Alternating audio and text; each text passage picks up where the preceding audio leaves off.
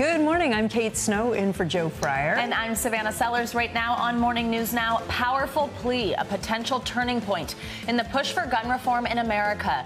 This morning, emotional testimony expected in Washington after a surprise White House visit and a call to action by actor and Uvalde native Matthew McConaughey. So while we honor and acknowledge the victims, we, we need to recognize that this time, it seems that something is different. These regulations are not a step back. They're a step forward for civil society and, and the Second Amendment. Now, lawmakers preparing for a high stakes hearing on Capitol Hill with those personally impacted by the recent mass shootings. We have team coverage with the latest as the call for change grows. Long road ahead, frustration growing with the rising cost of gas, and so far, experts say there's no end in sight. The everyday impacts now being felt by millions of Americans as more states join the $5 club. Final opinions. This morning, all eyes on the Supreme Court with dozens of decisions set to be delivered, a number of them as soon as today. We'll break down some of the biggest cases on the docket, including the one that could mean the end of Roe v. Wade. And C is for celebrating. On this World Oceans Day, we're paying tribute to the Earth's most massive bodies of water with the help of a former astronaut and get this, aquanaut, who's mm. lived in space and underwater. Plus, what you can do to help protect the deep blue sea. Isn't that crazy? In yeah. space and underwater? Yeah, and to, today, what was the day? See, it's it's World yeah, World Ocean Day. Ocean yeah, Day. I know. World, who so knew? we'll celebrate. That's I know, wonderful. right? hey, so good morning. with us. Good morning. I know. Welcome back from. I haven't seen you. since Italy. I know. I was on a little trip doing some some wedding stuff, which nice. was a lot of fun. Yeah, but nice. it's so fun to have you with us, Kate. And Great I have a long history. It's always fun when we get to spend time together. We're happy to have you with us at home too. And we begin this morning with those growing calls for change when it comes to gun laws in this country. A bipartisan group of lawmakers is working to reach a deal by the end of the week. Meanwhile a son of a victim of the mass shooting in Buffalo, as well as actor and Uvalde, Texas native Matthew McConaughey, made impassioned pleas for lawmakers to act. I'm here today in the hopes of applying what energy, reason, and passion that I have into trying to turn this moment into a reality. Because as I said, this moment is different. We are in a window of opportunity right now that we have not been in before. A window where it seems like real change real change can happen. In a stark reminder of these tragedies, there is this gun violence memorial on the National Mall in Washington right now with more than 45,000 flowers, each one representing gun deaths. While inside the Capitol this morning, a House hearing where family members of Buffalo and Uvalde shooting victims are set to testify. NBC News Capitol Hill correspondent Ali Rafah joins me now. Uh, Ali, good morning. What can we expect from the hearing, first off? Yeah, Kate. Well, today, the second of two hearings this week featuring the family of the victims and the survivors of those two mass shootings in both Buffalo and Uvalde will testify. Uh, I want to play a clip, a particularly emotional clip, from the son of Ruth Whitfield, this 86 year old woman who was killed at that Tops grocery store uh, in Buffalo a couple weeks ago. Listen to her son speaking yesterday at this hearing. What are you doing? You're elected to protect us, to protect our way of life. I ask every one of you to imagine the faces of your mothers as you look at mine and ask yourself is there nothing that we can do? My mother's life mattered.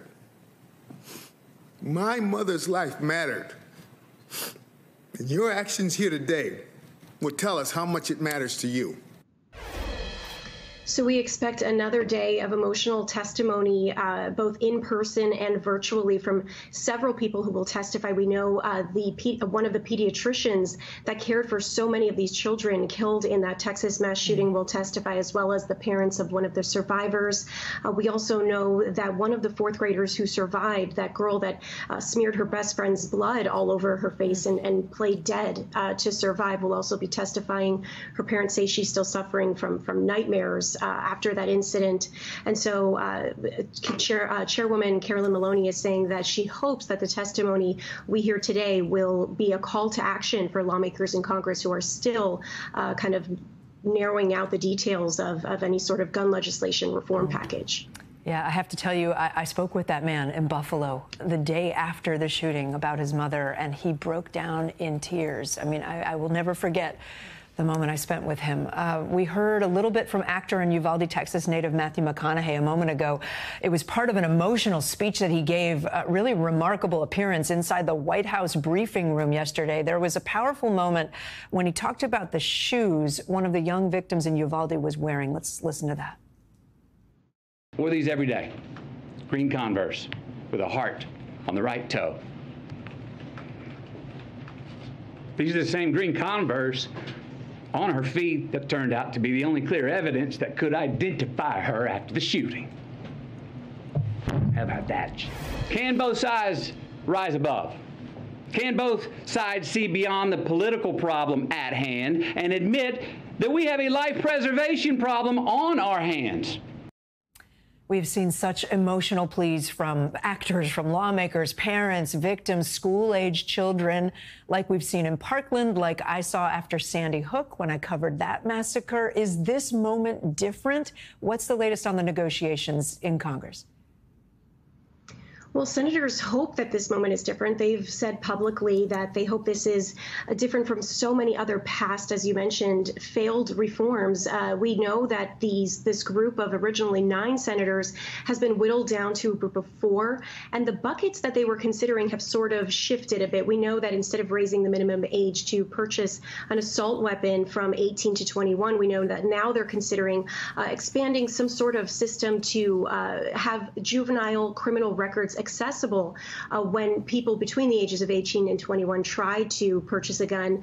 We know red flag laws as far as those negotiations, instead of a federal red flag law, uh, negotiators are considering a grant or incentive program for states to consider implementing those red flag laws, as well as several other things like hardening sec school security, uh, putting more money into uh, having some sort of federally protected mental health uh, program. And so Negotiations are still being worked out. Senators say that they hope to reach a deal by the end of the week to hopefully vote on next week, Kate. All right. Ali Rafa, thanks so much. And in Uvalde this morning, there's more frustration and there are new demands for information from key officials who are saying little two weeks after the massacre at Robb Elementary. NBC News correspondent Morgan Chesky is in Uvalde with the latest. Yeah, Kate Savannah, good morning. And hard to believe it has now been more than two weeks since this horrific tragedy struck Uvalde, and we are seeing an increased call for answers. The district attorney has now enlisted the help of two former DAs and two current DAs to sort through this massive investigation. This as families in Uvalde demand the truth.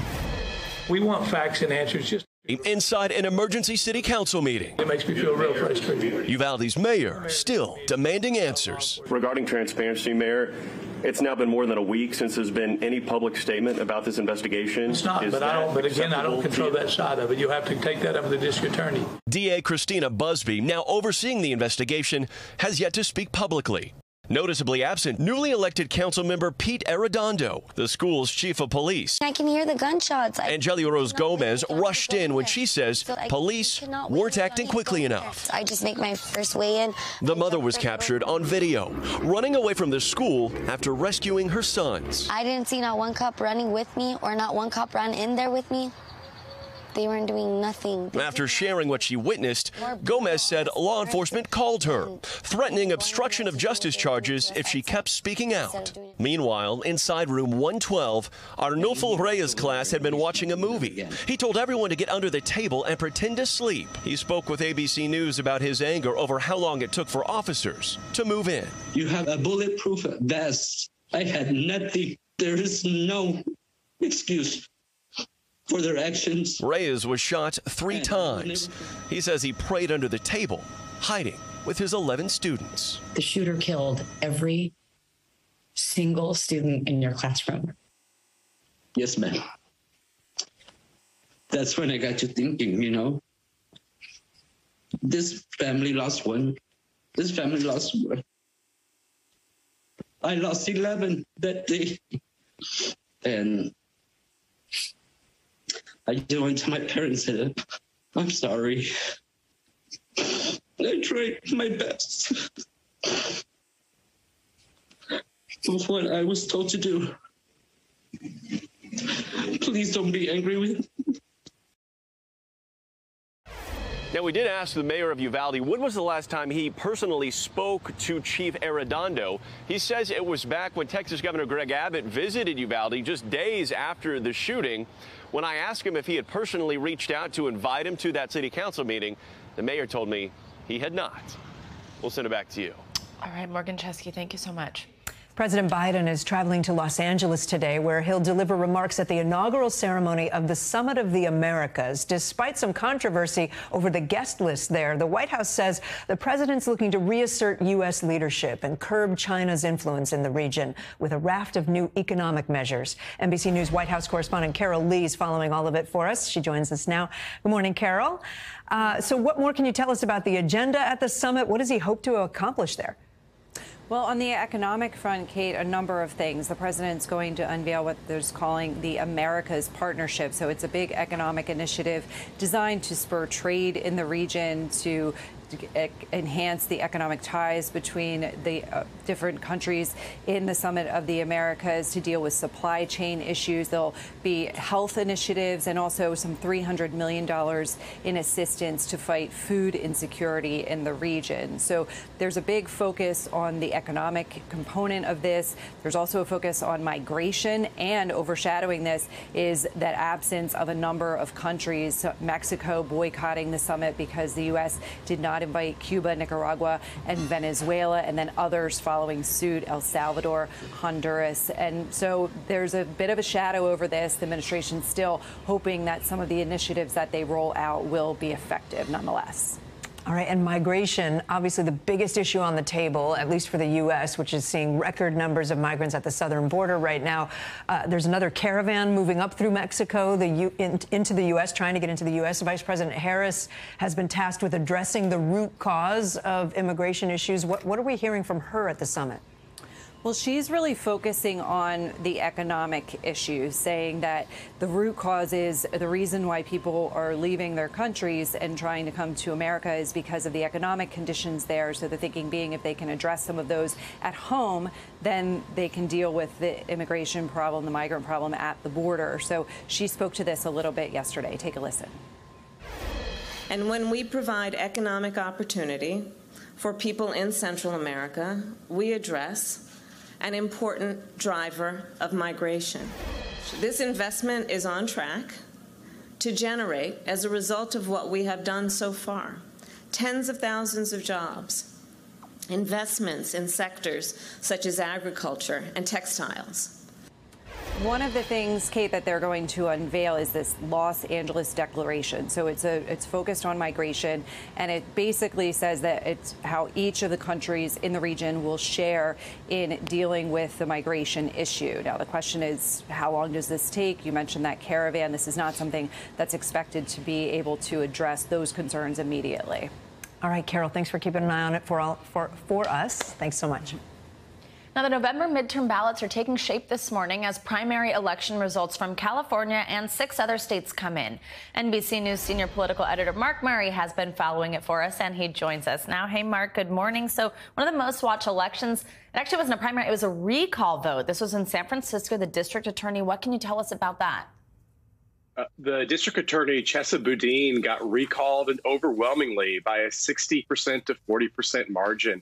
In Savannah, you know, what is notable about this contest is if you take it in isolation, you have one city district attorney getting recalled in the California election. You could say, hey, this is just a one election. But this comes after multiple members of San Francisco's uh, school board uh, uh, ended up also getting recalled. And you can kind of take these two developments together as of some frustrations of a lot of reforms, mm. whether on schooling or on crime and hand, how a city handles crime. And voters are getting frustrated about their own governance, including and especially in cities like San Francisco. Let's stay in California. Now, I actually want to ask you about this expensive race for Los Angeles mayor. This is one that a lot of people are talking about. Representative Karen Bass, billionaire developer Rick Caruso came in for the top two. That means that they're going to meet for a runoff in the fall. But what can you tell us about this race, these two campaigns? Tell us what's interesting here. Yeah, what's really interesting is Rick Caruso. He's a former Republican turned Democrat who ended up spending nearly $40 million uh, to be able uh, to get to this runoff election. Um, and he is, and this kind of has some similarities to what we saw in San Francisco. He's been running against the homelessness in the city, on the rampant crime there. Karen Bass comes from the Democratic establishment of the Democratic Party. She was one of Joe Biden's vice presidential shortlisters. And this sets up a really fascinating general election runoff that we're going to end up seeing. And Savannah, I wouldn't be uh, surprised if we're going to end up seeing a lot of Karen Bass trying to litigate uh, Rick Caruso's former Republican ties. Yeah, former Republican until quite recently, just before jumping into this race. So that is certainly an interesting one to watch. And I want to switch over to Iowa. So we kind of saw something of an upset in the Democratic race for Senate here. We had retired Admiral Mike Franken beat former Representative Abby Finkenauer. He'll now face incumbent Chuck Grassley, who handedly won the GOP nomination back in November. But what should we know about this race? Yeah. And so, Savannah, you are right that I think it's a slight surprise to a lot of people who followed politics, and particularly when Abby Finkenauer ended up getting elected in 2018 in that Democratic wave year. Um, she had become kind of a well known person from the Joe Biden wing of the Democratic Party. She ended up losing reelection in 2020. And what it wasn't really that much of a surprise to me, however, because Franken ended up outspending her over the airways and ended up running, frankly, the better campaign. And Franken now will run against Chuck Grassley in the fall. Grassley, the Republican, uh, longtime Republican senator, mm-hmm. should be the overwhelming favorite, not only in, in a state like Iowa, which has been leaning Democratic over the last few years, but also in a national environment which heavily favors the Republicans right now. All right, lots to keep watching this primary season as we head into November. Mark, thank you so much. Well, this morning, the national average for the price of gas continues to climb toward the $5 mark, and some states have already passed that threshold. The price of diesel fuel rising at an even faster rate nationwide. These higher prices are not only having an impact on trucking, obviously, it's also affecting consumer goods as well. NBC News correspondent Sam Brock joins us now from Miami with the latest on the pain at the pump. It is painful, Sam. Good morning. There's nobody, Kate, good morning, that is not touched by this. You look over my shoulder, you'll see it's $4.99 at this gas station in Miami. And it's been like a bad waiting game as the country is just underneath $5 a gallon, Kate. The question this entire time has been what's the breaking point? At what point does gas get so expensive people just stop driving? And we are awfully close right now to finding out. As not surprisingly, this is hitting lower and middle class families the hardest. Record gas prices are being felt across the entire country. But California's pace setting 639 a gallon average could soon become America's reality with prices creeping up coast to coast. John Benia makes engineering house calls for a living. If you didn't have a corporate car to charge the gas on, how destructive would these prices be for you? I, am not sure that I, I would be able to to work every day. Couldn't afford it. Last Friday, eight states sat above $5 a gallon on average. This morning, that's jumped to 16 states plus D.C., and the economic jolt is not felt equally. A new Bank of America report found household credit card spending for fuel surged to 7.8% by the end of May, but a whopping 9.5% for families making under $50,000. They call it inflation, but somebody's somebody's pocket is getting inflated. We're the ones hurting down here, you know, the poor people, the, the working class. I mean, I'm work minimum wage job, so pretty much most of my paycheck goes to paying for my gas. Americans rocked by a double whammy, higher prices at the pump and in stores. Companies like Walmart and Target reporting disappointing first quarter earnings as many shoppers prioritize gas and groceries over home appliances and clothes. And diesel fuel has outpaced regular gas by a wide margin. It always comes out of the owner operator's pocket. Fuel, maintenance, everything else. Tamim Shanab owns three 18 wheelers and transports frozen food and produce. He says he's spending seven or eight hundred dollars more a week on gas, and like many smaller truck operations, has seen employees flee because I can't afford to pay them what I used to pay, you know, in the past. The fallout from fuel really touching, Kate, every corner of the economy. And AAA did a study recently asking consumers at what point would they stop driving. Three quarters of them said once gasoline reaches $5 a gallon, mm. it's expected to cross that threshold this week. So we are going to find out if that's going to become a reality. Yeah. Kate. Test in real time. Sam, thank you.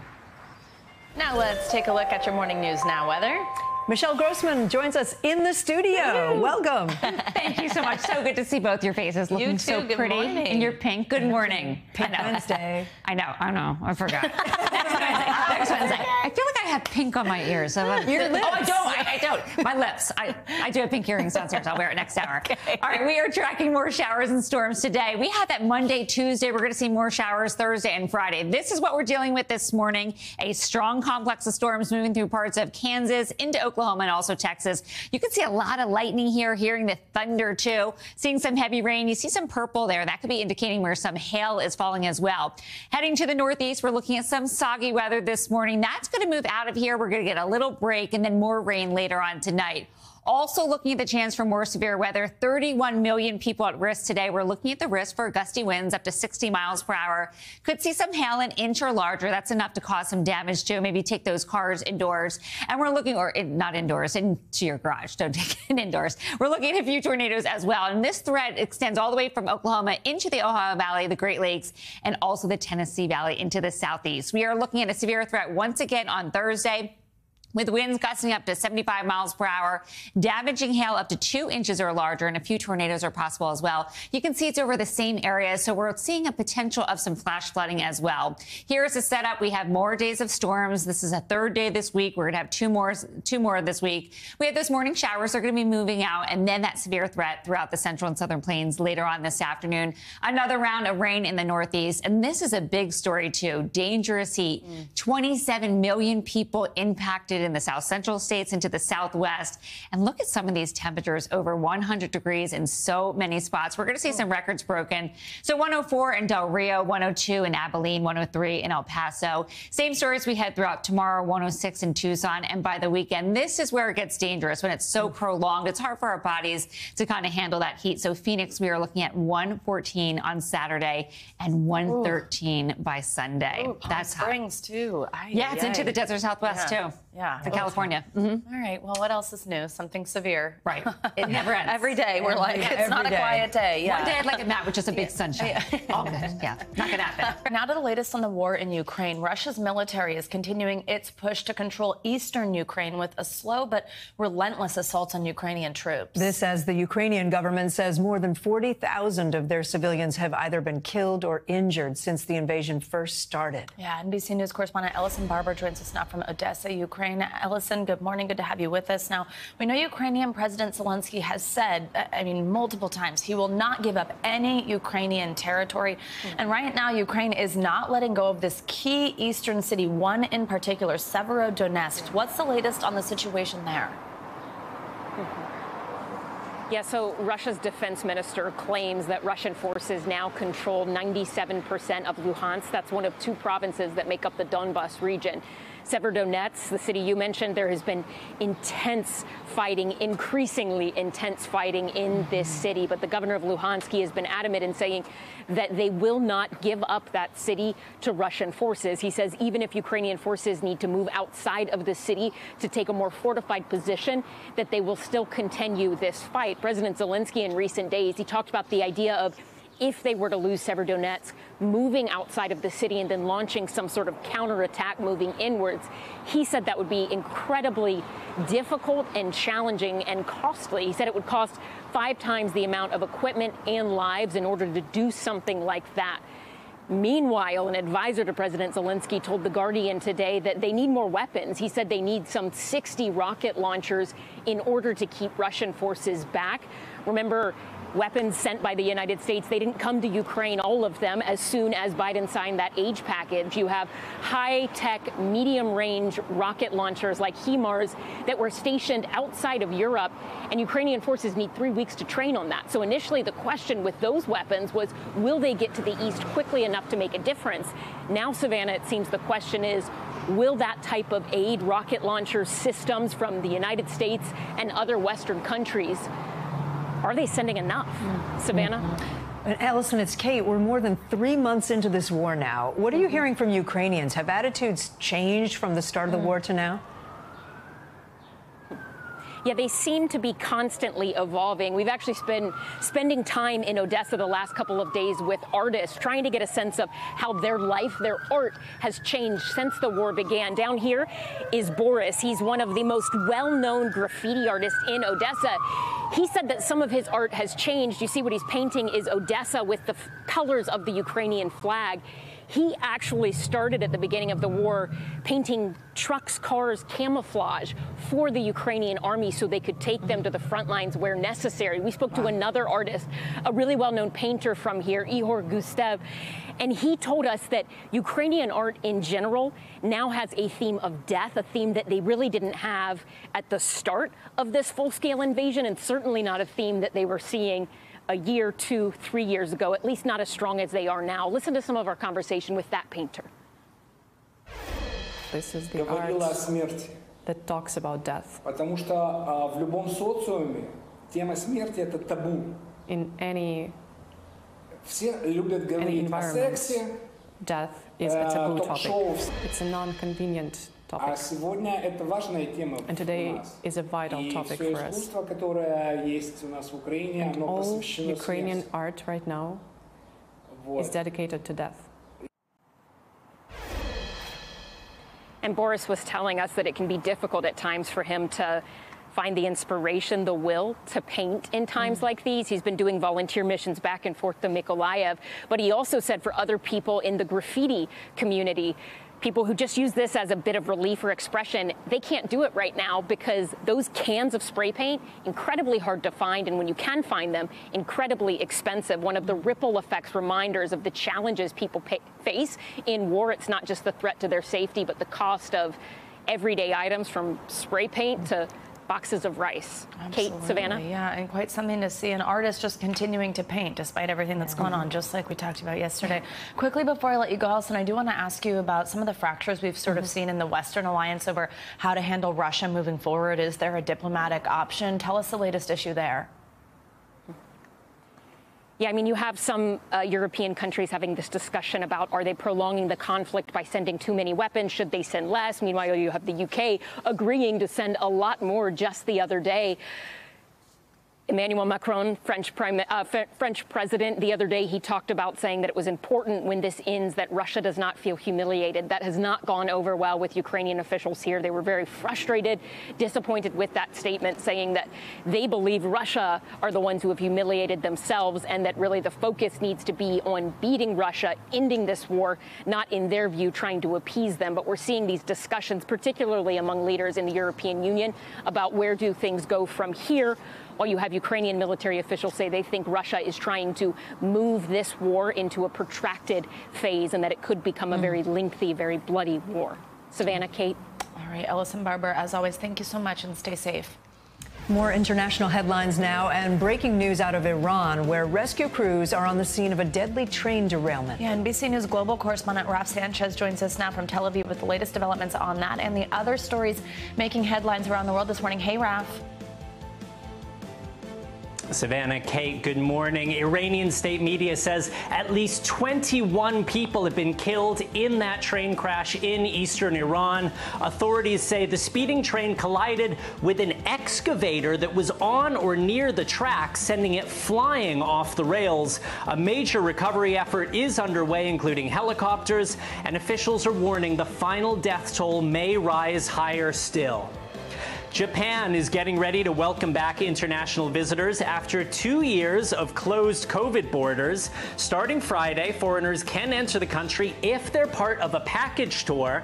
Interestingly, domestic tourism is actually a bigger part of Japan's economy than international tourism. And finally, the heat is on to find the best pizza in the Western Hemisphere. Argentina is playing host to the second Pan American Pizza Tournament.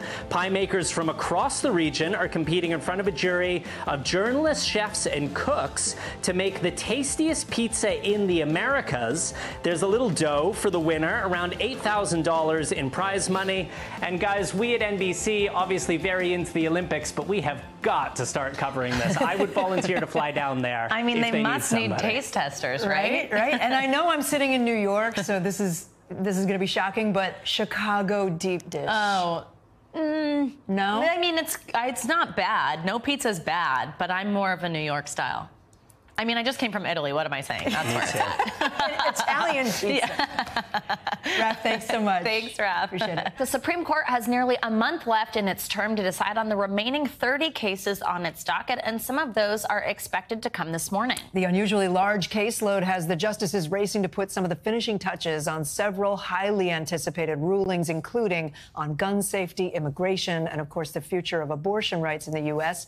All eyes now on the Supreme Court with the political future of the U.S unclear. NBC News legal analyst Danny Cevallos joins us now on set for more on this. Danny, good morning. Always good to have you with us. So we love for you to help us kind of with some context here. And I think particularly with this one we keep talking about that deals with abortion rights, it's kind of been put just in that context, Roe versus Wade abortion rights. But let's step back and if you could remind us how this particular case, Dobbs versus Jackson Women's Health, made it to the Supreme Court in the first place, and then walk us through what could immediately start happening if we are to get that ruling. Well, in all likelihood, Dobbs arrived at this Supreme Supreme Court because once the Supreme Court reached its very conservative makeup, uh, conservative minded state legislatures were sort of like when the Delta Force is rappelling out of a helicopter, they were like, go, go, yeah. go. Pass these abortion laws and bring mm. them up to this Supreme Court because these justices are the most likely to take a new look and overturn Roe v. Wade and Planned Parenthood v. Casey. And that's how we arrive here. The court, as we've already seen in a spoiler alert, is going to consider whether or not, first, Roe was egregiously wrong, and secondly, even if it was wrong, should stare decisis uh, mm. promote the respect for precedent or should precedent be overturned? Mm.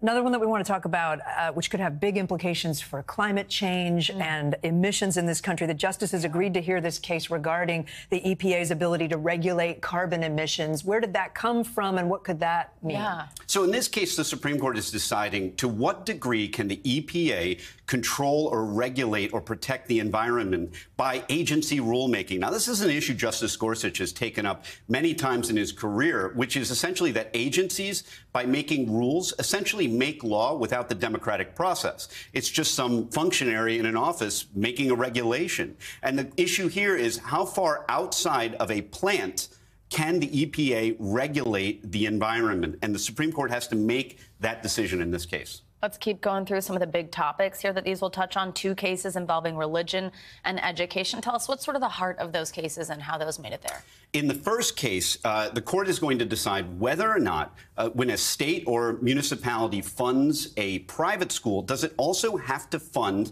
a religious school. In other words, is it required to be fair to both private schools mm. and religious schools? But the second case fascinates me. I was a, a high school coach many moons ago, and this is an issue where a coach was supposedly, and the facts are disputed, was uh, leading a prayer at at the um, at the 50 yard line after a football game. Now, the way I have to say, the way the coach frames it you'd almost think he was muttering it to himself privately at the 50 yard mm. line. That doesn't appear to be the case. There are photographs of him leading a prayer with other students and players around him, and the court has to decide whether or not that is protected religious freedom or if it infringes upon the First Amendment and the separation of church and state. Mm. And lastly, what would the Supreme yeah, Court say about Chicago versus okay. New York this is, pizza? This is not even the biggest controversy. What the biggest controversy is Kate Snow's uh, apparently support of Chicago deep dish pizza over other pizzas. Now, as I don't disagree. I am that, calling for you to hand over your New York driver's license on behalf of the Bar Association. I'm here to collect it, to revoke it, and you can start uh, talking like a Chicagoan. You can mm-hmm. say pizza, no, yeah, and all that other My stuff. My mother-in-law's Kathy. Kathy, exactly yeah. right. You know, it's My, over. My whole extended family's from Chicago, just for the record. So There's they're got to be happy right somebody watching out there who's with me on the deep dish. It's out, you know what it is? It's Wonder Bread with sauce Okay, piled okay. on top. That's so it. true. That is all it is. It's outrageous. That's a good way to put it. Oh my gosh, that's hilarious. Also, what did you coach? Uh, lacrosse. we were nine and one. I just want Never- that. You look that up, fact checkers. Never That's- knew that about Yeah. Danny I know. Cevallos. Gosh, Danny, that's something new every time. Danny Cevallos, thank you so much for stopping by. Yeah, appreciate it. All right, we have to change gears here. As the dust settles from the immediate aftermath of the deadly shooting at Robb Elementary in Texas, one group is working overtime to help schools move forward now. NBC News Now anchor Hallie Jackson talked to principals bonded by tragedy, and she asked them, is it even possible to recover? When former Columbine principal Frank DeAngelis heard about the massacre in Uvalde, he picked up the phone and left a voicemail for the principal of Robb Elementary. I guess I was pretty naive back in April of 99. I made the comment within 24 hours. I said, I hope my beloved 13 uh, do not die in vain, you know, and that this does not happen again. And unfortunately, it continues to happen. It's part of his work with the Principal Recovery Network, a group he helped found of school leaders who experience gun violence. They offer help right away and support to principals who lead schools that have encountered shootings. Why do you think the Principal Recovery Network helps and is useful in a moment like this? Well, I think a lot of times one of the things that was kind of a trigger for many of us is principals or teachers stating that I know what you're feeling, and you're trying to say, do you really? You know, were you stuck in a classroom? Did you encounter a gunman? More than 311,000 students have been exposed to gun violence during school hours since Columbine happened, according to the Washington Post. And now the Uvalde shooting has spurred the network to write an open letter to elected officials saying, We beg you, do something, do anything. But without policy changes, more schools are being forced to figure out themselves how to, for example, reopen after a shooting. really we have to kind of let them take the lead in talking about it so it is appropriate to to ask questions how are you feeling are you you know are you feeling okay are you feeling safe That's maybe the biggest challenge to recovery. How do you get students to feel safe in school again after they've experienced something as horrific as a mass shooting? Is that even possible? Well, it is difficult. And one of the things that I learned is afterwards, you want the kids to feel safe. You want the parents to make sure that they feel safe having the kids there. But at the same time, you want to make sure that you do not have things in your building that are triggering the emotion and anxiety. For the students at Columbine, that meant, for example, changing the sound of the fire alarm and choosing to stop serving Chinese food in the cafeteria because that's what they had for lunch the day the shooting happened. But it's different for each school, and there's no blueprint for recovery. There are a lot of decisions that had to be made in that moment what to do with the space, how to move forward with the school culture. Elizabeth Brown became the principal of Forest High School in Ocala, Florida in 2018.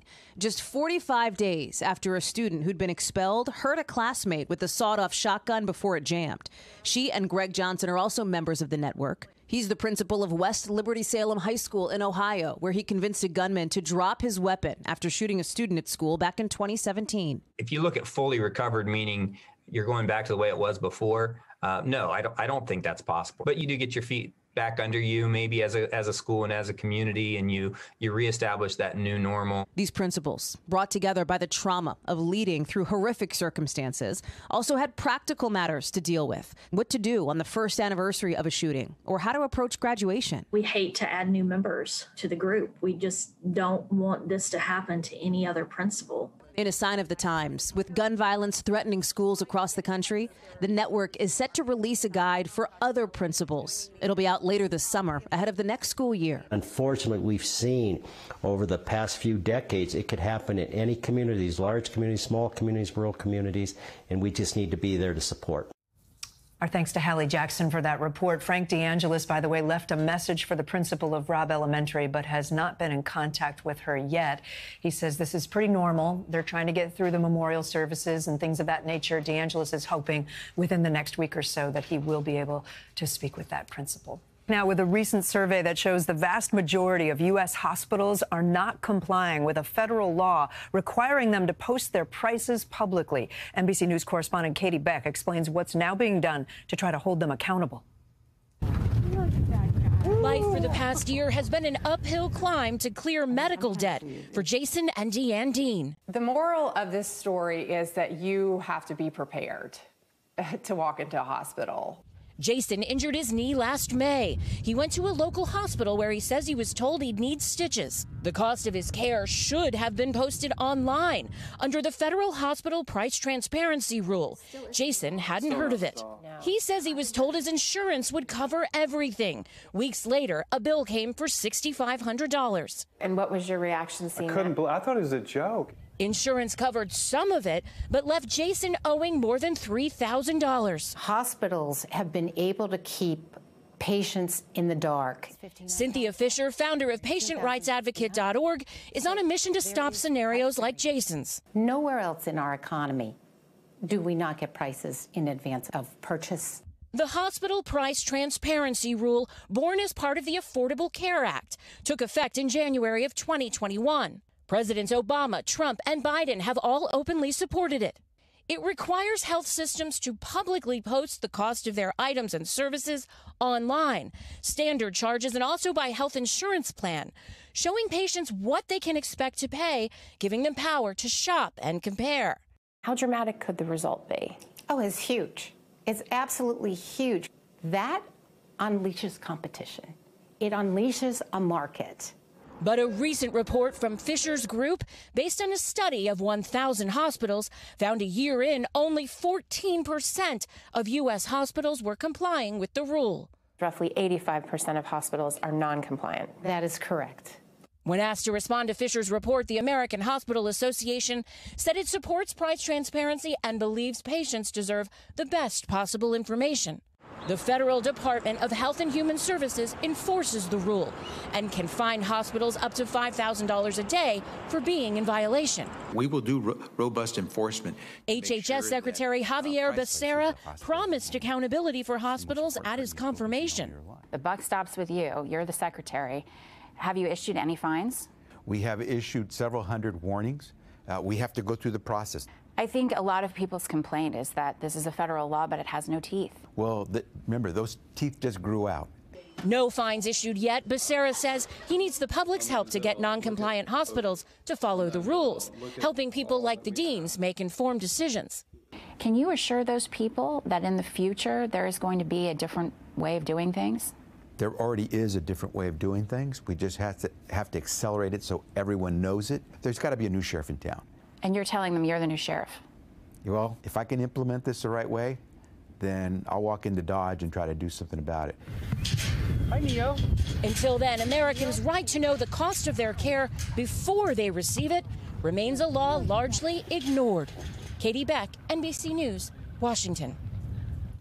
Let's stay on important health news for you with your weekly checkup, where we discuss the latest health headlines that you might have missed. And today we're joined by our friend, NBC News medical contributor, Dr. Kavita Patel. Hi, Dr. Patel. It's great to have you. So, this first study we want to talk about looks at how weight loss surgery might be helping obese people slash their risk of cancer and death. Tell us about this and how many people is this really affecting?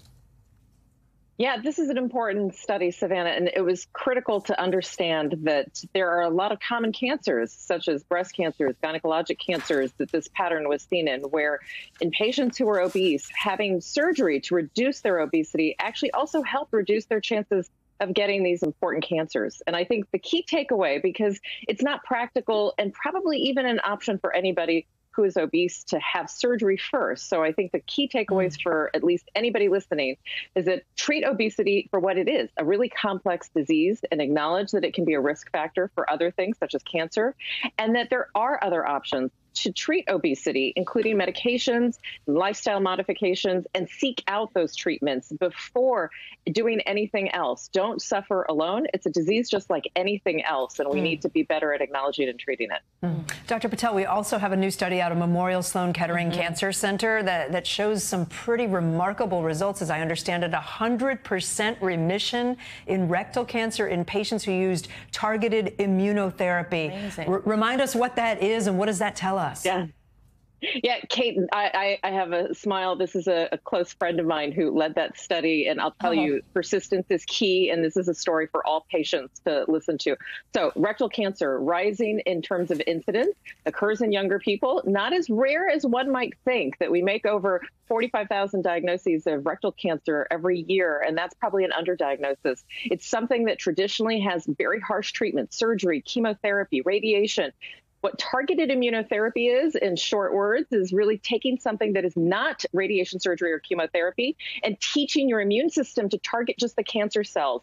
It's exactly what we're trying to do with other cancers and including with what we do with vaccines for COVID. So it's teaching your own body to target mm. the cells that are bad and learn how to fight them. And in 12 patients at Sloan Kettering in this trial, they saw 100% remission it is stunning wow. front page headline news. And what it shows us is that there's a possibility in the future that the three of us will be talking and we'll be able to talk about this curing many cancers. So wow. it's incredible. Hope and so. advocate for yourself. If you're a patient, don't hesitate to get a second opinion. Mm. The doctor's order here is that it's never a final order. Seek out opinions, seek out other advice, clinical trials, and things that could help you understand your total option. Amazing. And I think we saw that headline and thought, wow, that sounds like a big deal. And it's great to hear that it actually it is. is. And, and congratulations it to is. your friend running that study. Yeah. Last quick one for you. This is really cool. It looks at how people with higher levels of optimism actually lived longer. So tell us, I mean, what does that mean? It, uh, look, I, I, I, would love to say that I had the cure for everything that, that, could help someone live to the age of 100, but this is actually something that has now been studied over decades, studied in broad populations, diverse racial and ethnic populations, and even controlling for lifestyle, all the things you would think of that help you live longer.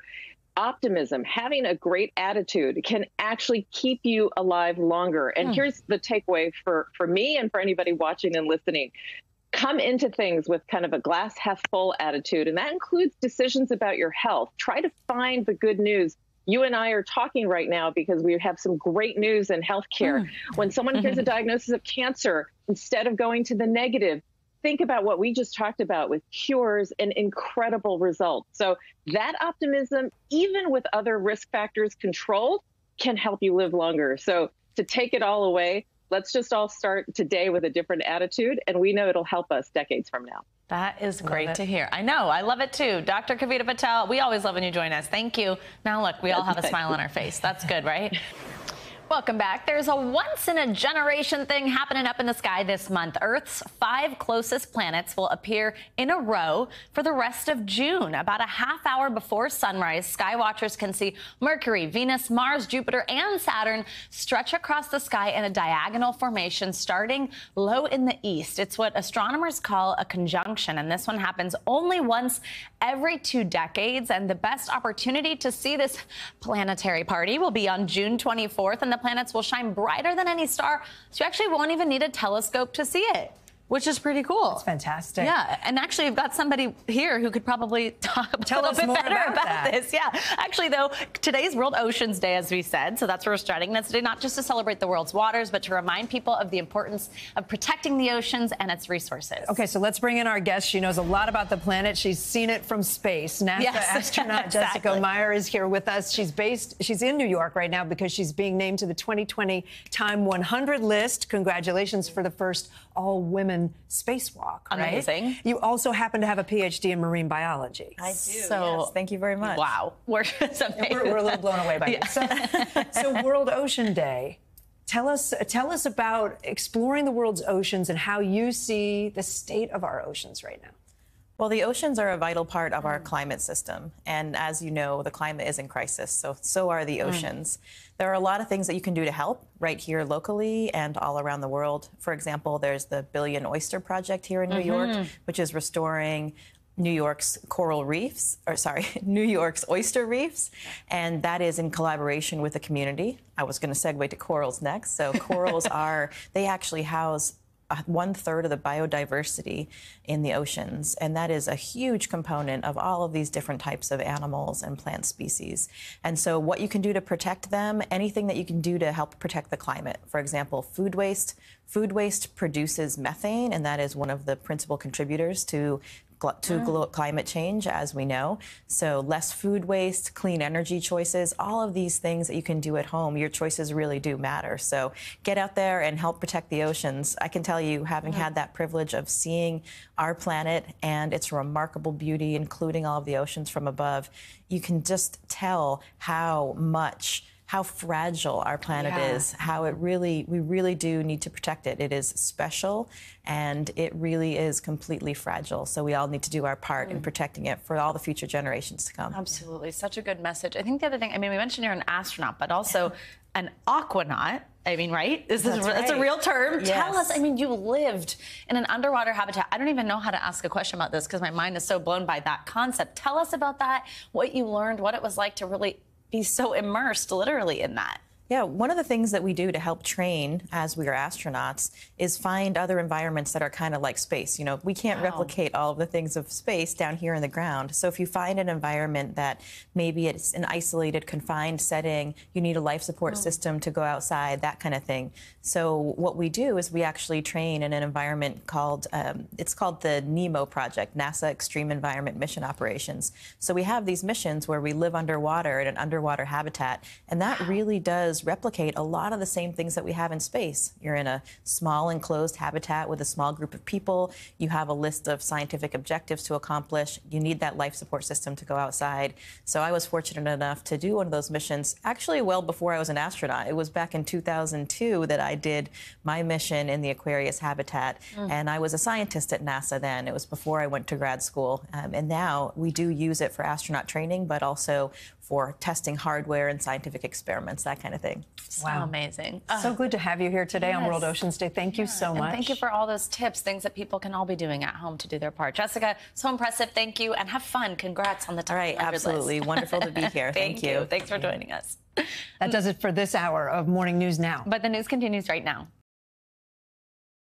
Thanks for watching our YouTube channel. Follow today's top stories and breaking news by downloading the NBC News app.